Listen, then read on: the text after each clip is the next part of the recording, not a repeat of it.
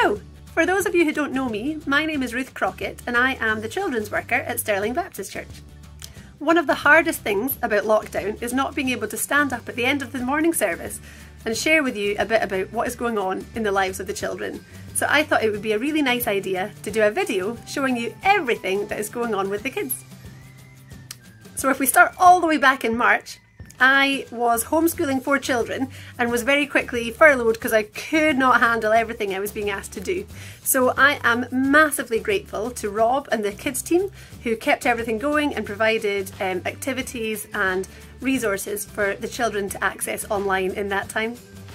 I came back to work in August after the summer holidays and since then we've just been trying to um, reach all the kids and work out what it is that we can do um, safely um, and still have a lot of fun and teach kids about Jesus. It became clear quite quickly that we had uh, three sort of main groups of kids. We had children who are still at home and haven't um, come back to church yet and aren't quite ready to come back to anything. We've got children who have come back with their parents to the church services on a Sunday morning, and we've got children um, who are happy to come to something outdoors. So with that in mind, and to try and um, reach all of these children, we have been making weekly videos. Hello and welcome to SBC Kids Online. Every week that video is put up on YouTube with the weekly teaching um, and children can access that at home or in one of our other programs as well. We just watch the same video wherever we are, so everyone's doing the same thing.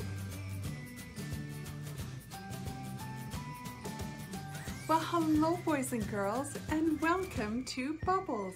Nearly every single week since lockdown began, all the way back in March, the lovely Julie Ryan has been providing resources and videos for our three and four year olds in Bubbles.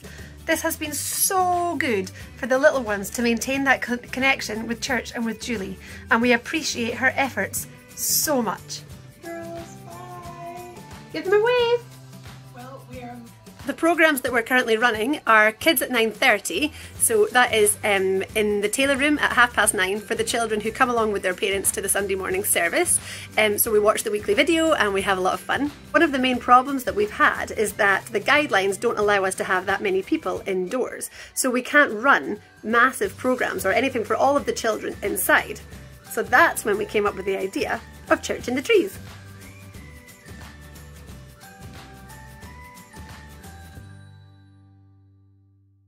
Church in the Trees is one of the silver linings, I would say, of the COVID 19 pandemic. Um, without this pandemic, we would never have had to think outside the box in this way, and this um, programme would not have been developed. But it is so good. The kids come along um, to my garden um, every week, come rain or shine, and they watch the weekly video and then they go off and they play in, in the trees. You can see one of the trees behind me there with the tire swing on it. There's a tree house they, um, and they just have so much fun. Seeing some of the kids who previously wouldn't have actually liked coming along to church that much, skipping down the drive and looking so happy to be here is a real blessing.